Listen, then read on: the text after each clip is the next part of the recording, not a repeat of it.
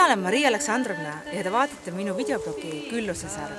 meie tulime selle nädalavahetusel metsa, õigemini rabasse, sest tundsime, et hing lihtsalt vajab midagi erilise ja uue ja puhta järele. ja siin seda tõesti on. on vaikust, on tuult, on äh, üksikute lindude hõiskeid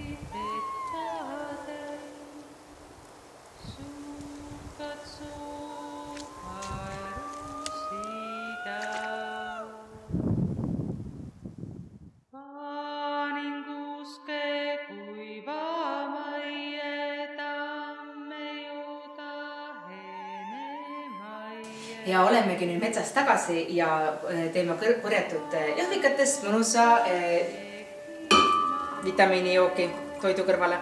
selleks siis jahvikad, mesi ja vesi blenderisse ja siis juba kannu. mina lasen ka veel läbi sõela.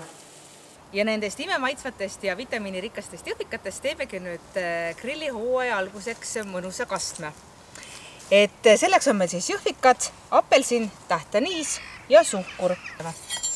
kõigepealt on siis tarvis ka apelsinist pressida välja mahla. nii et esimese asjana paneme kõigepealt karamelliseerime ära suhkru ja suhkur ongi mõnusalt juba pruunistunud ja see annab pärast kastmele imehea äh, karapallise maitse. nii et äh, lisame juurde siis ka täht aniisi ning jõhvikaid.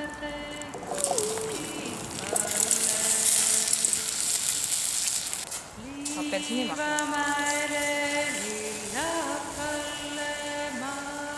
vahepeal tuleb siis ka maitset proovida ja kui natuke suhkrut tundub, et on vähe, siis suhkrut juurde panna.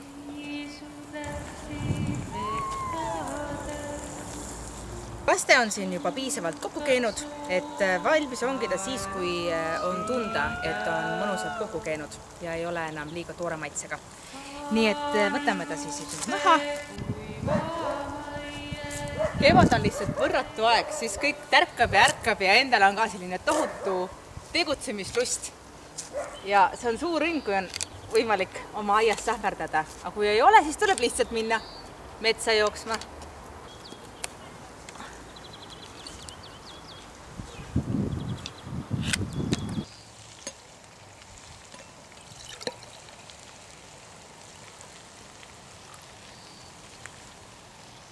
lisandina olen siis teinud peedid küüslaugu ja peterselliga ning kõrvitsat, muskaatkõrvitsat, punase sibula, oliiviõli ning kõrvitsaseemneõliga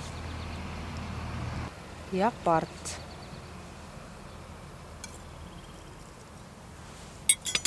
mida sobib imehästi täiendama hapukas jõhvikakaste. jõhvikakastmes on tunda karamelliseid noote tänu kõrvetatud suhkrule ning äh, tähtaniisi äh, idamaisust.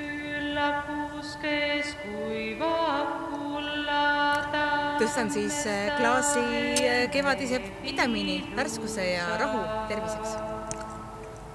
Paius pleegib päeva